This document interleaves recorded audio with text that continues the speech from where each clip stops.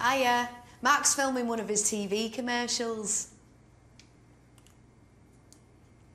Yogurt.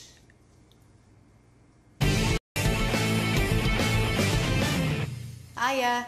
Mark's filming one of his TV